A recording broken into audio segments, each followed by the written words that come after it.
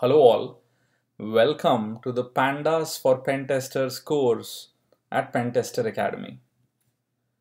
Now this is the introduction video for this course and before we begin, let me introduce myself. I am Vivek Ramachandran and I'll be the course instructor. Uh, my background is in electronics and communications and then specialization in computer security I worked at a bunch of companies, including Cisco, primarily working on layer 2 security. Uh, that's what I did at Cisco Systems. Moved on to security research, uh, published a bunch of attacks, spoken at a bunch of conferences. Uh, I've also trained at Black Hat multiple times. Uh, I run Security Tube and Pentester Academy uh, and have authored books which have been translated into different languages. Okay, uh, so that's about myself. And now let's look at the course outline. So we will of course begin with why pandas for pen testers, right? Why do we even need this course?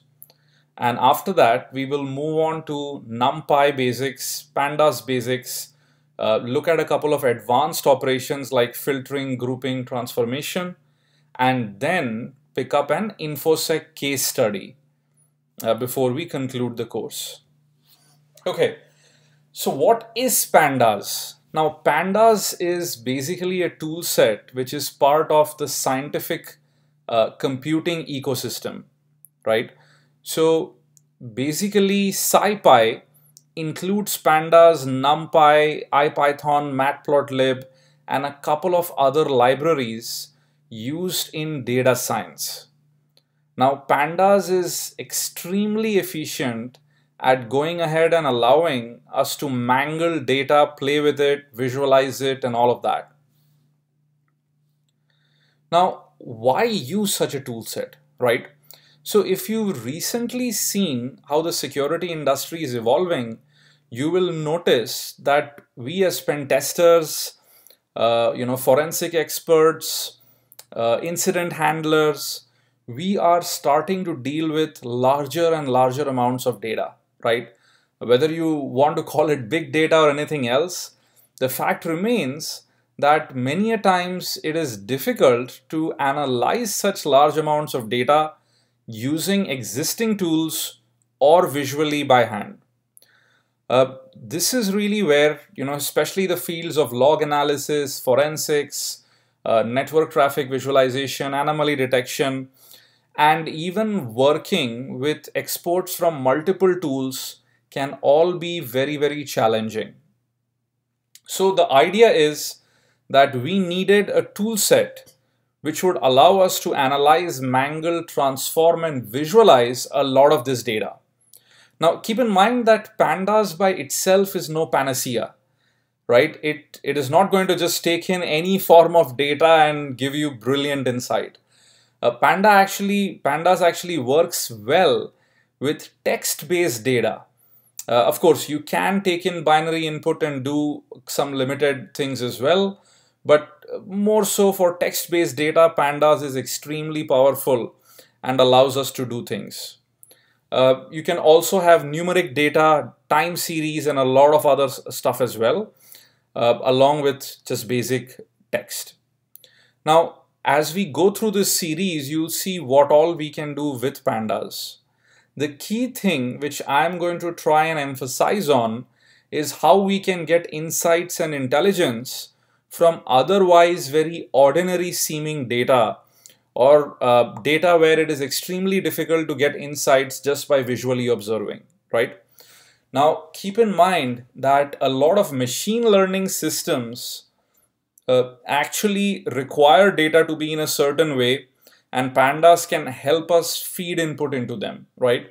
Later on, we may look at data science for pen testers and machine learning for pen testers, where uh, I'll touch upon many of these things, but that would of course be a completely different course. Okay, what are the prerequisites? Well, all you need to know is basic Python, right?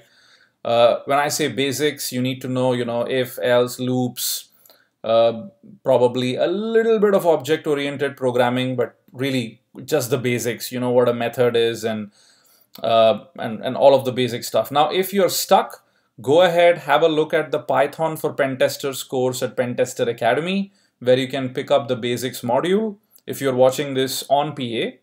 Else you could pretty much pick up any Python basics book and work through it first.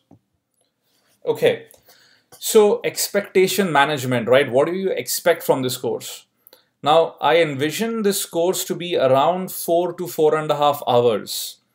Uh, as you can imagine, I cannot cover every single thing about pandas in that small amount of time.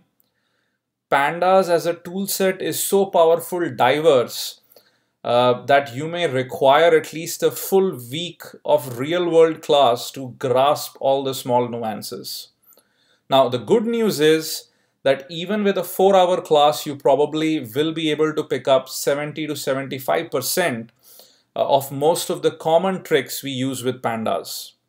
So the expectation you should set for this course is you will be learning up to intermediate pandas and basic NumPy.